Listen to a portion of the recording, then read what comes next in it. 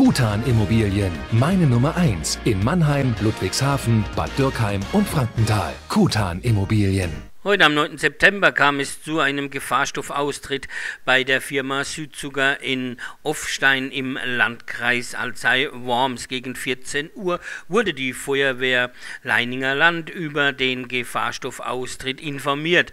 Beim Eintreffen der Wehr wurde der Austritt von 96-prozentiger Schwefelsäure aus einer Leitung, die ein Leck hatte, festgestellt. Die Mitarbeiter von Südzucker hatten bereits den Zulauf zur defekten Stelle gestoppt. Wie viel der hochprozentigen Säure ausgelaufen ist, konnte man noch nicht genau bestimmen. Nach ersten Schätzungen dürfte es sich um 4.000 bis 5.000 Liter handeln. Herr Idl, könnten Sie kurz unseren Zuschauern erklären, was hier heute passiert ist?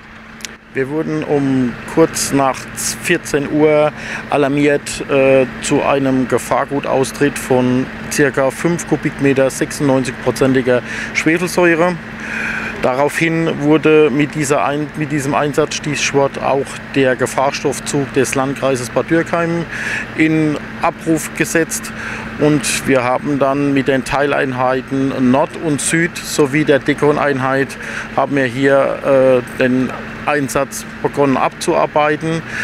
Es wurde auch der Fachberater der Evonik in Worms dazu geholt, der uns äh, behilflich war in der Abarbeitung, insoweit, dass die Firma Indutech jetzt hier die E-Stelle angefahren hat und mit einem Spezialsaugwagen diese ausgetretene Flüssigkeit aufnimmt.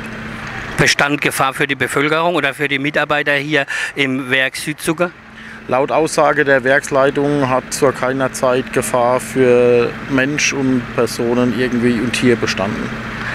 Aufgrund der Wetterlage wurden Dekontaminierungsmaßnahmen eingeleitet, denn bei Regen hätten sich ätzende Gase sowie Brandgase bilden können.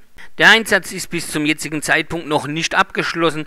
Im Einsatz waren neben den Wehren aus der Region auch die Rettungsdienste. Für MAN News vor Ort war Matthias Brandt. Metropolregion Rhein-Neckar News wird nachberichten. Ein Sonderlob geht an die Werksleitung der Firma Südzucker für die vorbildliche Zulassung einer transparenten Pressearbeit.